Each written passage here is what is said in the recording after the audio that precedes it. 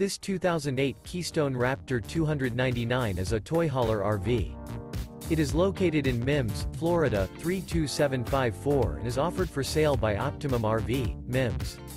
This used Keystone and features Sleeps 3. For more information and pricing on this unit, and to see all units available for sale by Optimum RV, Mims visit RVUSA.com.